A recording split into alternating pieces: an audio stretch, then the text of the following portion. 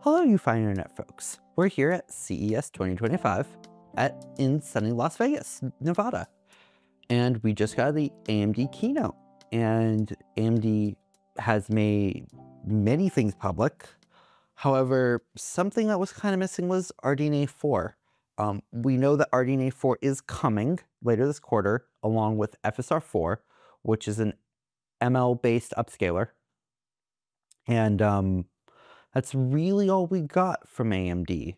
Um, based on some slides that they gave us, it looks like the 9070 XT, the highest range chip, is going to approximately match the 9700 X XT, not the XTX, the XT. And for anything else, we're we're kind of gonna have to wait for the proper announcement later this quarter. Moving on to something that what that had a full-on announcement, AMD's V-Cache has now come to the dual CCD version of Zen 5. The 9950 uh, X3D has one V-Cache die and one regular die, just like the prior generation of 7950 X3D. What this means is that the regular die can clock up to the 5.7 gigahertz that the uh, 9950X can, but you also have the V-Cache die, which will likely have some sort of clock speed deficit compared to the 5.7. How much it is, we don't know yet. Um, that will be a question to ask them.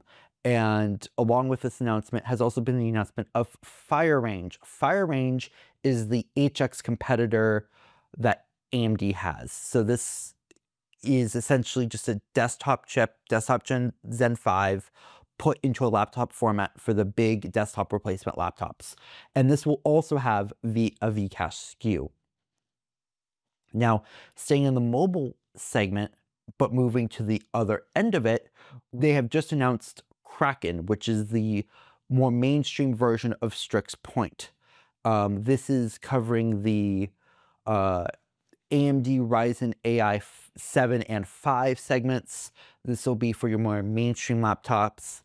This has uh, four Zen 4 cores, four Zen, excuse me, four Zen 5 cores, and four Zen 5C cores, um,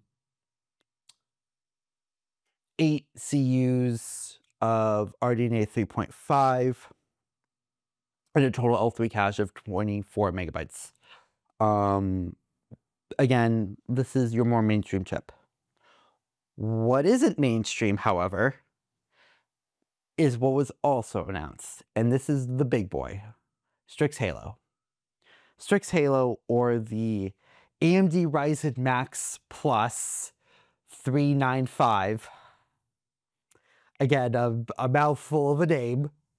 Um, this is Strix Halo. What Strix Halo is, is this is essentially a competitor to the M4 Pro kind of Max, but mostly Pro competitor. This chip has a 256-bit LPDDR5 8000 bus, which provides up to 256 gigabytes of memory bandwidth. And to accompany that bandwidth, this chip has a, for a mobile, a x86 mobile device in the Windows ecosystem, a massive 40 CU RDNA 3 iGPU that can clock up to 2.9 gigahertz. This also has up to 16 Zen 5 cores. Now, these are very likely identical to the desktop Zen 5 cores, with one possible exception, that being the FPU side. Uh, we need some clarity on if the FPU is like Strix Point, which was again similar to Zen 4, where it was the double pumped 256-bit FPU, or two cycle 256-bit FPU, or if it's the full single cycle 512-bit FPU or vector unit that we see in the standard Zen 5 desktop chips. Um, now, this SKU will go from anywhere from 45 watts to 100 to 120 watts. Um, and there were a uh, couple of uh, products shown with it. Uh, the Asus uh, Zen 13 uh, and the ZBook Ultra from HP. Um, they both will be having Strix Halo in a laptop, but HP has also announced a three liter class um, desktop uh, workstation device um, with Strix Halo, which is pretty neat, honestly, for a little three liter box. Um, so, but speaking of partners, one last thing the big surprise announcement was that Dell is now working with AMD for client products and laptops. Dell was, for a large part, the final holdout of the big laptop makers to provide uh, AMD products in their top end SKUs. So this announcement for not just the top end consumer chips, but also for the client business side. So that's like small and medium business laptops will also be getting AMD chips. This is big news. So, and I think that sort of caught everyone off guard. They, AMD had a had a chance to do at one last thing. Uh, unfortunately, they didn't take that.